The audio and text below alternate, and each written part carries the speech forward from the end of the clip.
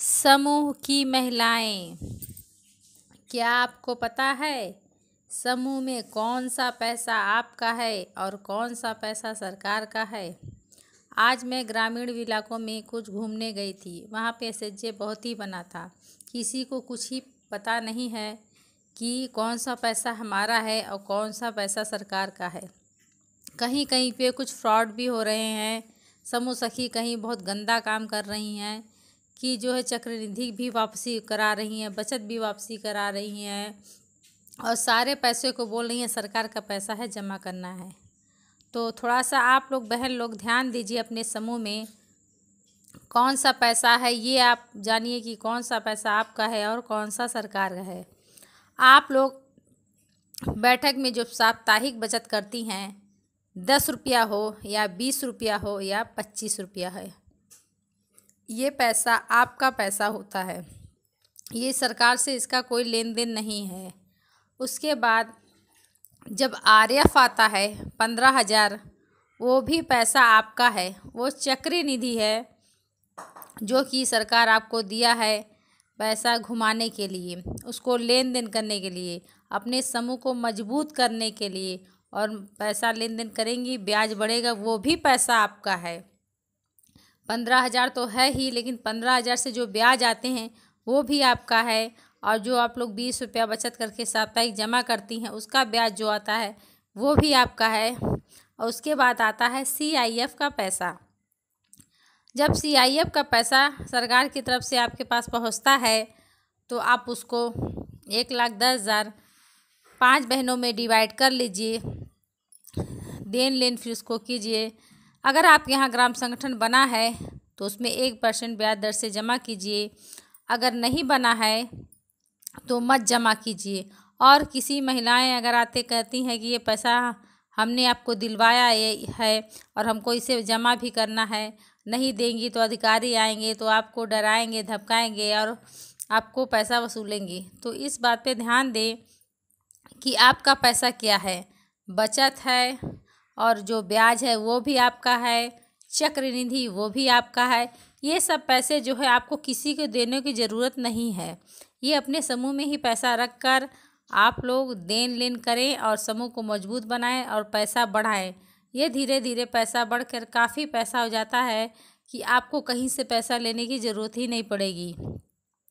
एक लाख दस हज़ार है, जो नियोजन बना के दे, उसी हिसाब से आप नियोजन में, ग्राम संगठन में पैसा जमा करें।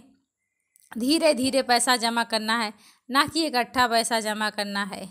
ये एक लाख दस हज़ार पचपन किस्तों में जमा करना होता है, दो हज़ार मूलधन और ग्यारह सौ ब्याज पहले किस्त में। फिर हर बार जो है दो हज़ार का ब्याज कम कम करके आप बराबर उसको महीने दर महीने ग्राम संगठन में जमा करें और बाकी पैसा जो महिलाएँ वापस करती हैं, उसको फिर लेन देन कीजिए।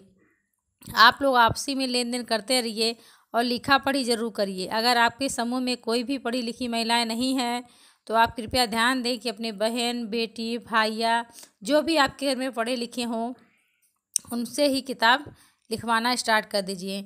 और सब बहनें कहती हैं, समूह तो बनाया जा रहा है, किताब दें, लेकिन हमको लिखना, पढ़ना नहीं समझ में आ रहा है।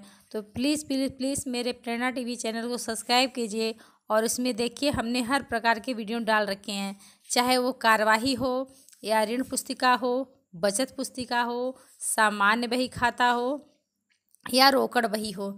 यहाँ तक कि मैंने व्यक्तिगत पासबुक भी वीडियो डाल रखे हैं। आप उस वीडियो को देखकर जो है अच्छे से पुस्तक लिखना सीख सकती हैं और लिखिए और अच्छे से बनाइए। समूह का किताब अगर एक बार लेखा जोखा ख़राब हो जाता है तो उसको बनाने में आगे बहुत ही दिक्कतें आती हैं।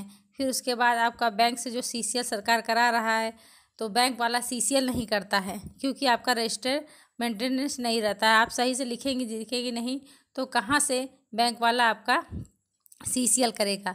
एक बार आपका जहाँ दीदी सीसीएल हो गया तो आप सीआईएफ का पैसा वापस कर देंगी धीरे धीरे करके तो उसको लेन देन करने की कोई ज़रूरत नहीं है। आप सीसीएल से पैसा लीजिए और सीसीएल का पैसा दीजिए। आपका लेन देन पाँच लाख तक रुपया का होता है। पहली बार जो है बैंक वाला पचास हज़ार रुपया देगा और उसको साल भर के अंदर जमा करना रहता है। अगर उसको साल भर अंदर जमा कर देंगी तो आपको दोबारा एक लाख मिलेगा। एक लाख जमा करेंगी तो दो लाख मिलेगा। दो लाख जमा करेंगी तो तीन लाख मिलेगा। अगर तीन लाख जमा करेंगी तो पाँच लाख मिलेगा।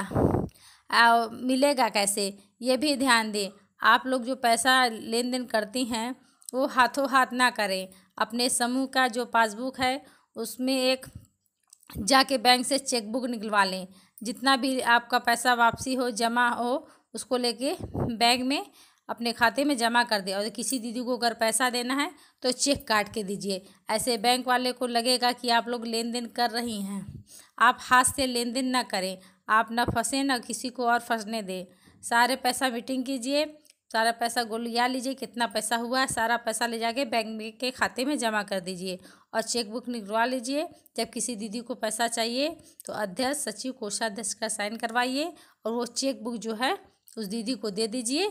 वो अपने खाते में डालेंगी तो पैसा बच जाएगा, फिर वो अपने खाते से पैसा निकाल सकती हैं। इस तरह आपके पास प्रूफ भी रहेगा और कोई मुकर भी नहीं सकेगा कि हमें पैसा आपने दीदी नहीं दिया है। हर काम करिए चेक बुक से कीजिए। हाथ से पैसा लेन देन दीदी नहीं करिए। अगर लेन देन हाथ से करेंगी तो लेखा जोखा में दिक्कत होगा। आजकल बहुत सी महिलाएँ हैं कि पैसा लेके पलट जाती हैं कि हमें पैसा नहीं दिया गया है तो आपको दिक्कत आएगी। अगर चेक दिए रहेंगे तो आपको कोई दिक्कत नहीं आ रही है। आज के वीडियो में इतना ही। धन्यवाद। अगर आपको हमारा वीडियो पसंद आया हो तो सब्सक्राइब लाइक ज़रूर कीजिए। और अगर आपके आसपास कहीं समूह बन रहा है तो कृपया करके वीडियो दिखाएँ। और शेयर भी करें। नमस्कार।